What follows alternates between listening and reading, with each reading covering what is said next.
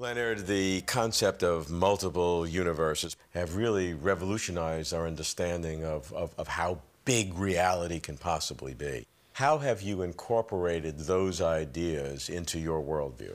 The idea of multiple universes is basically that inflation is a mechanism for creating all the diversity in different places in the universe that is possible. Those ideas will lead to a universe which is populated by many, many bubbles.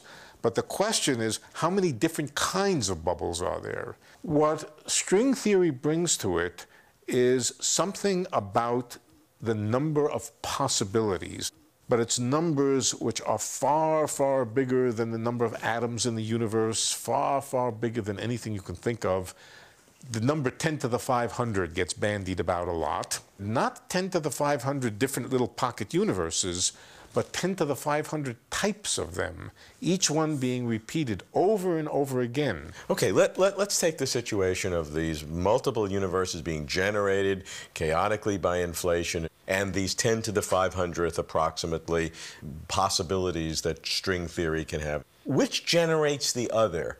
I don't think it's a question of cause and effect of one and the other. They're two separate things. Uh, the space of possibilities, in other words, the collection of all possible kinds of universes that can exist, it is very similar in a way to the space of all possible kinds of creatures that can exist.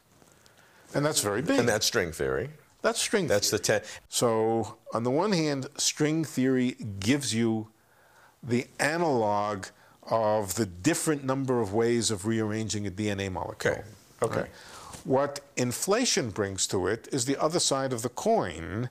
How do you bring these different universes with different DNA? How do you bring them into existence? Eternal inflation creates more and more space, and that space simply just fills up all of the different possibilities that are inherent in the equation. Uh, as you see these two fairly powerful theories in today's world.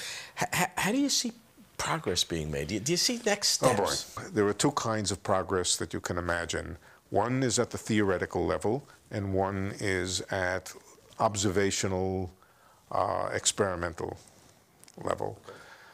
Theoretically, I think we will simply learn to explore this landscape better and better we may be able to figure out which combination of these elements put together in various ways create a universe like our own and check that there is such a possibility. We may also be able to better understand the mathematics of this eternal inflation. Now, you have to find some way of confirming this by observation, and that's where the hard stuff is. What we may be able to do is to look into the past and by looking into the past, discover that our universe was born from one of these bubble nucleations. This is possible, but quite frankly, the experimental possibilities are very limited and very, very hard.